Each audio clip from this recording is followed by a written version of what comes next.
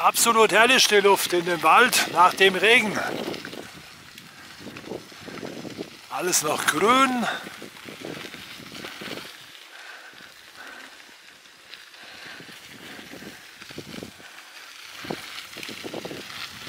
Wunderschön. Und ganz versteckt im Großbiberauer Wald gelegen gibt es einen Ort, wo ich früher oft war. Wissen wir schon, worum es geht. Es geht nämlich um eine Quelle, die hier ist. Das nennt sich das Gesundheitsbrunchen. Allerdings, was wir dann erst später erfahren haben, es ist mit der Gesundheit von den Brunchen nicht so, nicht so weit her. Aber es ist ein schöner Platz, wo man mal verweilen kann. Im Sommer, wenn es sehr, sehr warm ist, ist es hier immer sehr schön.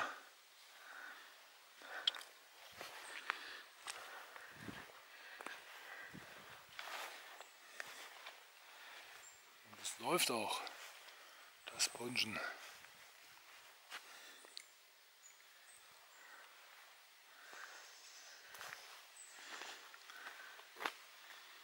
Sieht ein bisschen verwunschen hier aus mit dem Weg und den Bäumen.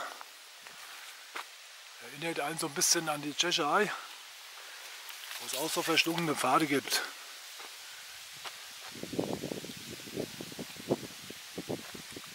Schöner Platz hier zu stehen und die Schwingung der Bäume zu genießen.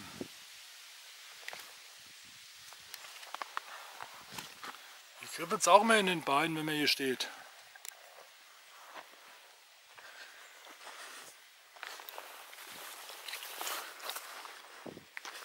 Ja, da gehen wir mal die halsbrecherische Treppe hinunter.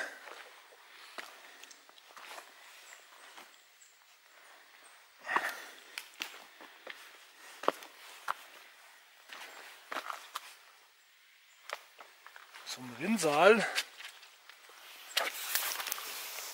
Gesundheitsbrunchens.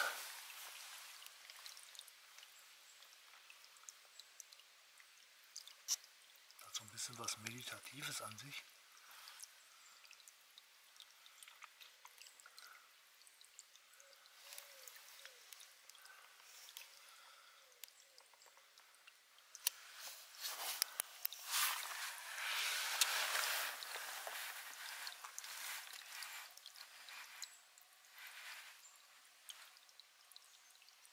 Sind 10 zum Sonntagmittag.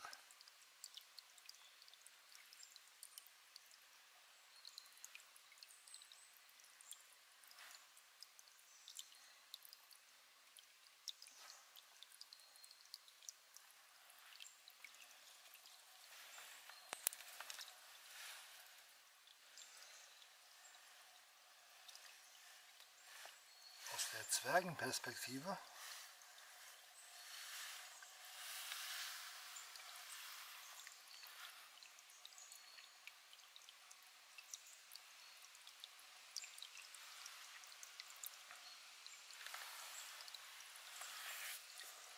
steht hier dieses Schild, kein Trinkwasser. Und das ist auch durchaus berechtigt, weil die haben dann irgendwann mal hier einen Menschen getroffen, einen älteren Herrn, der wohl irgendwas mit dem Wasseramt zu tun hatte. Und die Quelle eigentlich kommt aus dieser Richtung. Und diese Richtung ist eine Stelle, wo man früher seinen Müll abgeladen hat.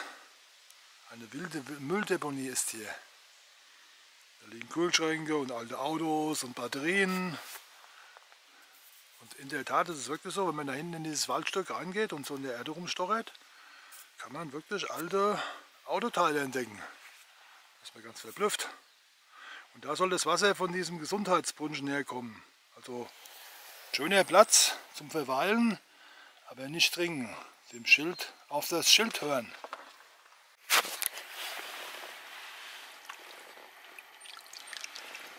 Kann ich mal meinen Bergkristall wieder erforschen.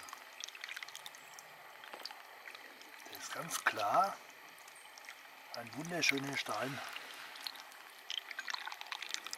Den habe ich in Miltenberg gekauft. in so einem Antiquitätenladen. Haben sie eine Haushaltsauflösung gemacht bei einer alten Dame. Und die hat den gehabt. Der ist wie ein Wassertropfen selbst. Ein wunderschöner, ganz klarer Bergkristall.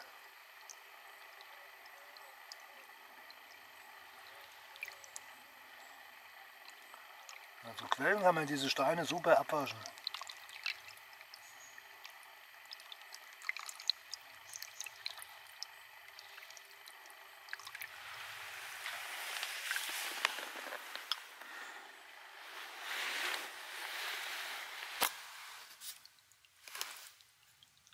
Am Gesundheit wünschen. Erklärung für die Leute, die mal gerne hierher würden zu diesem Gesundheitsbrunchen. Da kommt man also von diesem Waldparkplatz von Großbiberau, wo es nach Hahn geht. Der Weg Nummer 4. Und da sieht man hier an diesen Bäumen so eine Bank stehen. Geht es geradeaus so weiter. Da steht drauf 1, 1S auf dem Baum. Das ist auch so ein rotes Quadrat aufgesprüht. Da sieht man dann Karl-Schuller-Weg. Da, da läuft er runter und der erste Weg, der dann rechts abgeht, das ist der Weg zu dieser schönen Stelle, dem Gesundheitsbrunchen. Wir haben die Quelle da unten mal sauber gemacht. So haben wir die überhaupt mal gesehen. Die war nämlich ganz verdreckt. Der Hahn war gar nicht mehr sichtbar, weil wir uns da so eine Mühe gegeben haben. Hat dann die Stadt Großwiberau damals den Hahn da, die neue Fassung gemacht. Da habt ihr gesehen, mittlerweile ist das ja schon wieder ganz anders, schon wieder aufgegraben. Und haben wir da immer unseren Grüntee getrunken. Ich kann mich noch gut daran erinnern. Dann kommt dieser alte Knopf da und sagt, hey Leute, das Wasser wird schon nicht trinken. Und seitdem sind wir da eigentlich auch nicht mehr hin. Ist auch ein Platz, wo man schöne Steinpilze finden kann, wenn dann die Pilzzeit jetzt wieder losgeht. Und weiter geht's durch den schönen Odenwald. An diesem schönen Lufttag. Und dann hier im Buchenwald haben die Buchen ihre ganzen Bucheckern abgeschmissen. Da, die Bucheckern für die Städte. Nochmal so als Erinnerung.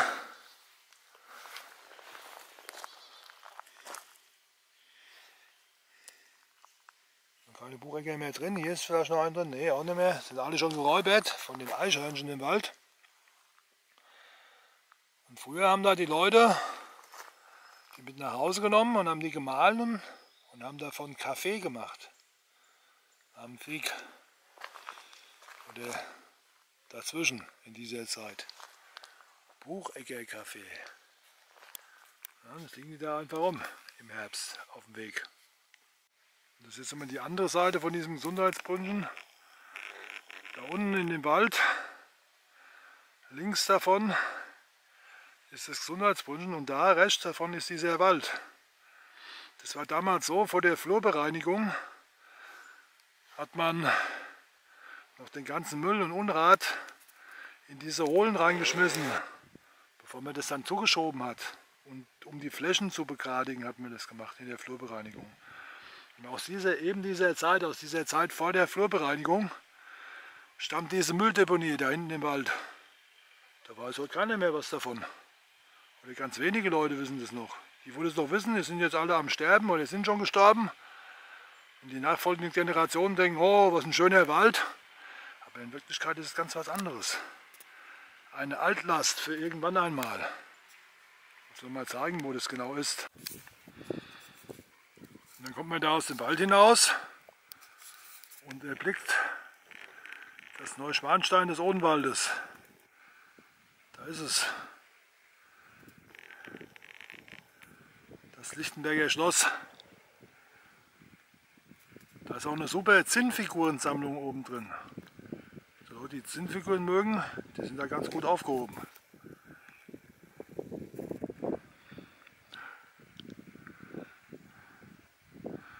Die Odenwaldhöhen und die Neunkirchener Höhe mit dem Funkfeuer oben drauf. Es. Jetzt schon von Ferne mit dem Traktor eben gerade gesehen, die Waldarbeiter, die Holz machen. Am heiligen Sonntag. So, jetzt ging es trockenen Fußes hin. Da sieht man noch die Rollierung, das ist also auch so ein uralter Weg. Die hohe Straße ist das hier, um, ganz genau um das ganz genau zu nehmen. Deswegen kommt man da auch zum Schloss Lichtenberg. Jetzt regnet es. Ich mache mir einen langen Beinkleider an. Jetzt bin ich gut ausgerüstet.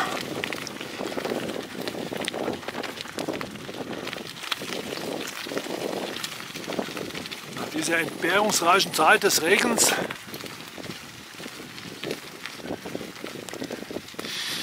ganz im Gegenteil.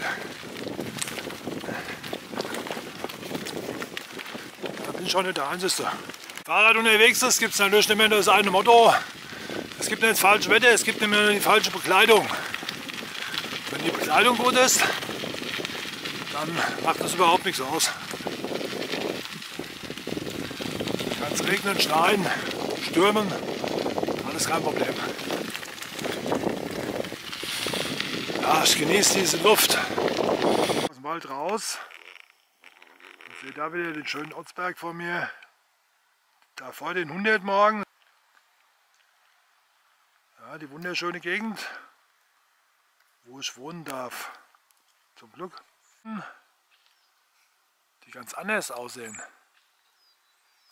Die Heizungen.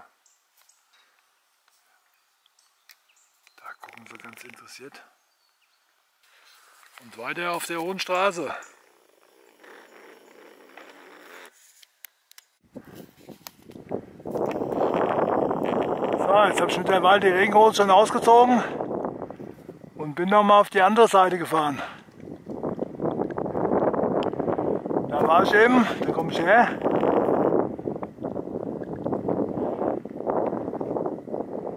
Da muss man der anderen Seite noch mal sehen, der Otzberg. Die hohe Straße, wo ich jetzt auch wieder bin.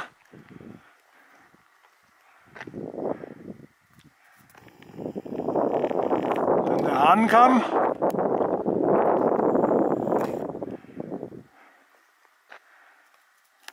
Dann hier vorne Georgenhausen, Rostorfer Gemarkung.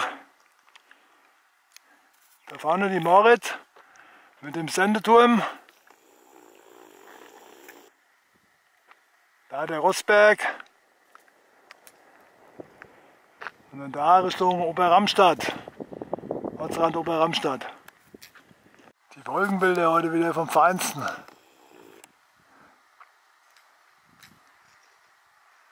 Das ist echt voll die Fantasie an. Die zwei Köpfe. Der eine hat einen Schnabel auf die Ohren vorne, oben die Augen, die Zunge. Der andere sieht was aus wie ein Teddybär. Guckt woanders hin.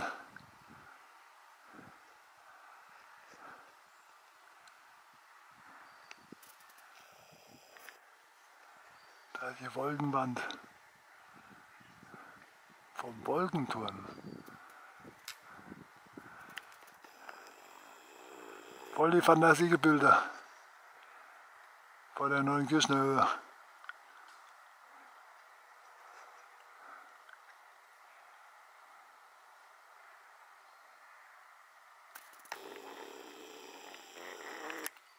Dann habe ich die Waldkunst wieder ein bisschen in Stand gesetzt. Lässt sie mir abends mal federn, wenn ein Tier durchspringt oder so. Oder Kinder vielleicht damit spielen. Da kommen die Leute vorbei und reden mit einem und sagen, oh, das ist aber schön. Machen Sie das bloß weiter.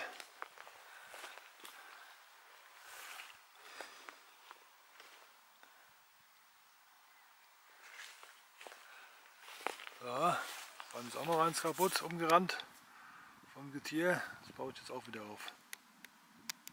So, aber hier ist jetzt richtig der Wirbelwind passiert. Ist voll kaputt gegangen. Naja, dann machen wir hier mal einen neuen Waldriesen. Die Waldriesenkonstruktionen fangen alle so an. Dann ganz schnell solche Gebilde draus. Und wirklich, ehe man sich versieht, hat man so einen Waldriesen gebaut. Ist der Waldriese. Da steht er wieder.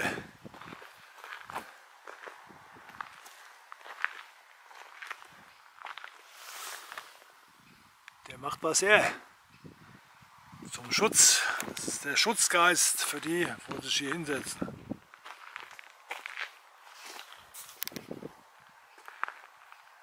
Der Sonntag ist es. Der Sonntag Schutzgeist. So, das war ein wunderschöner Tag. Viel gemacht, Waldkunst gemacht, was erforscht. Im schönen Wald lang gefahren. Gesundheitsbrunchen gesehen. Jetzt fahre ich gerade wieder zurück. Naja, was soll's. Die Finger sind kalt, ich muss trotzdem heim.